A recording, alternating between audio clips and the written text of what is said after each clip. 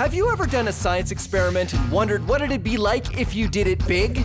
I have.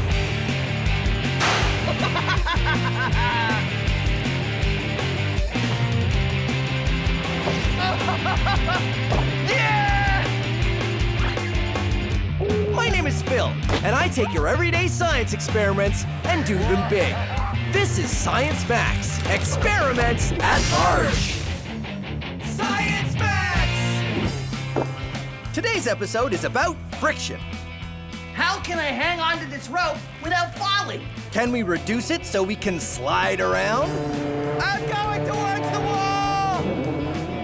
Can we increase it so I can climb a wall? Ha ha! I did it! Can I use it to fly? Yep. Friction today on Science Max Experiments at Large. Hey, Science Maximites! I. Ah! Ugh, slippery. But that's okay because today we're talking about friction. Friction is a force that is everywhere and happens when any one thing rubs against any other thing. We do lots of things to increase friction, like, uh, like wear shoes with big treads on them. And we can do things to reduce friction, like the experiment we're doing today. We're gonna build a hover disc, and it's very easy. You take some cardboard and cut it into a circle, just like this. Then put a hole in the middle of the circle. You might want an adult to help you with that. And then take a plastic drink bottle cap, like this. I like the ones use the ones that uh, you get on sport bottles because they have a little nozzle that pops open or closed. And then you glue it around the circle and you get this. Then you need a balloon. So you blow up your balloon. I know you know that step.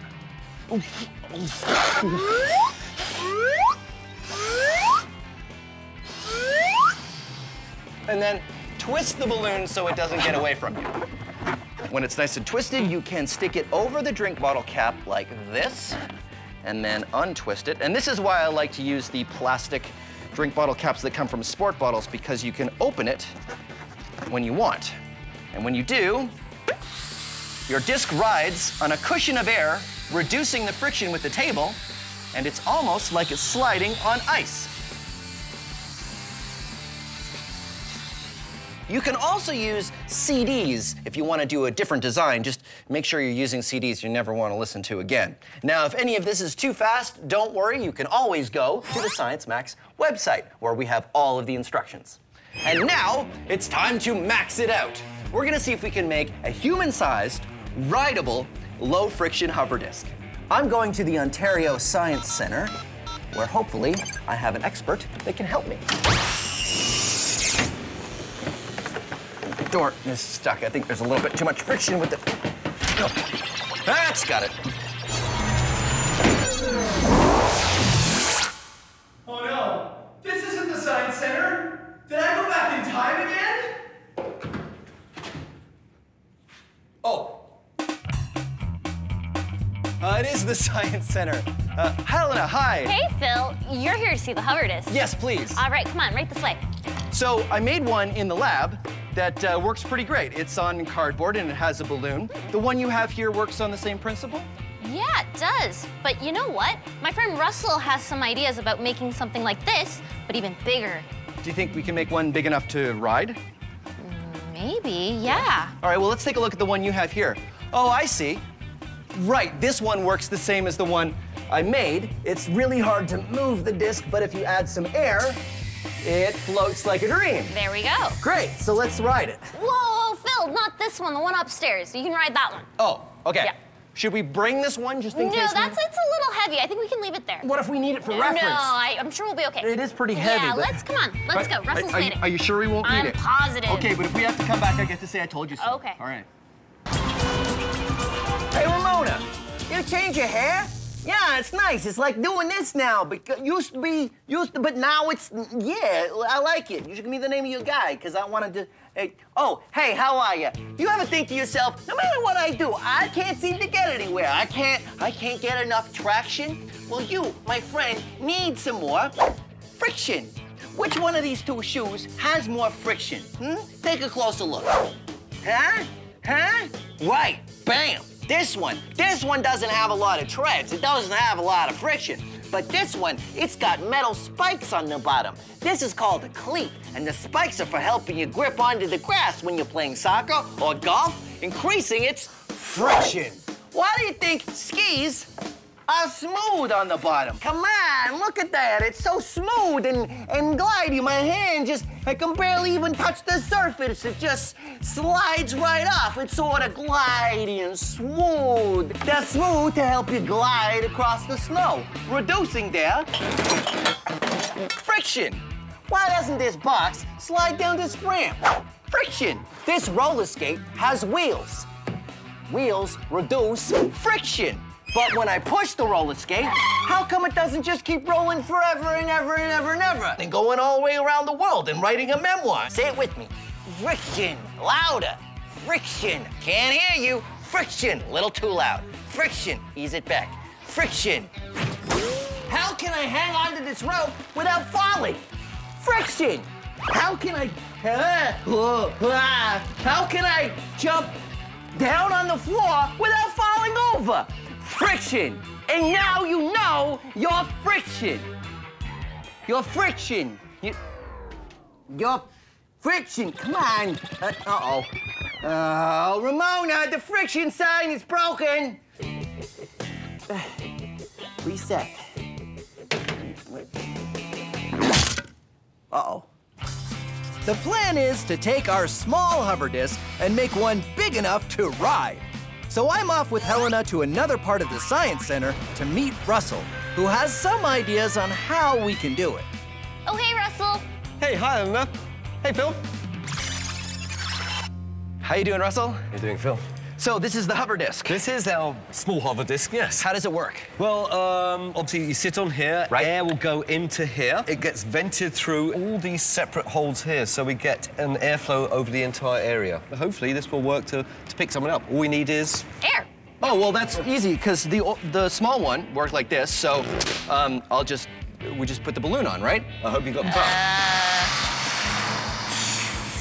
Okay, so we put the balloon on the... Uh, hold on, hold on, hold on. Larger balloon! Oh, okay. Ah, sorry, sorry. That's okay. Okay. Yeah. Uh-oh, twist it so it doesn't... Uh, he's losing his air. All right. On you get. Helena, you grab Right. one side, I'll grab the other. Okay, here we go. Go. It's not, it doesn't... Feel way too much It doesn't feel like No. there's, there's uh it still feels pretty frictiony. I think, uh, I think we might need something more than a balloon. So what do we do? Well, I think we need more consistent air going through here. Okay. So not a balloon. Not a balloon, something, I don't know, opposite to a vacuum cleaner? Opposite to a vacuum cleaner. That would be a, uh, Like a leaf blower. Like a leaf blower. a leaf yes. blower. Right? High five. Yeah. Awesome idea. Yeah, yeah, leaf so blower it is. why don't we make a couple larger uh, discs when we'll hook some leaf blowers to them and, and we'll see what happens. Definitely give it a go. Okay, great.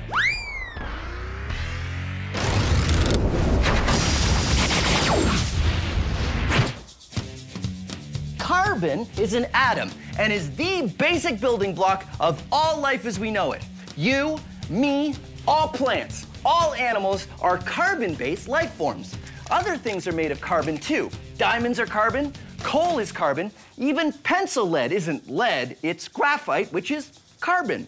If you were to take all the carbon atoms in your body, you could fill 9,000 pencils. Of course, kind of prefer my carbon where it is. Our low friction hover disc still had way too much friction. One of the problems that Russell mentioned is that the balloon just wasn't giving enough air. But then Helena had the idea of using a leaf blower instead. The plan now is to make a leaf blower powered disc by starting with a big circle of wood, cutting a hole in the wood where the air will come through, and then covering the bottom with a tarp that has many holes cut out of it for the air to escape. Because leaf blowers are made to push lots of air, hopefully there'll be enough for me to ride it. Well, this is the business. Look at That's this. amazing. It's good, right? Oh, yeah, I love the So- tube. You know, high volume of air through that. Yeah. So yeah, I think it's a dryer vent uh, that we, I just found it in the lab. And then this, of course, is, is leaf blower. Uh, so I get on here, and then Helena, if you want to turn it on. Uh, yeah. So once we fire it up, the air coming out from the bottom of the disc raises me up, and I float on a cushion of air. I can't control it. Because the friction between the disc and the floor is so low, I end up floating wherever Helena and Russell push me.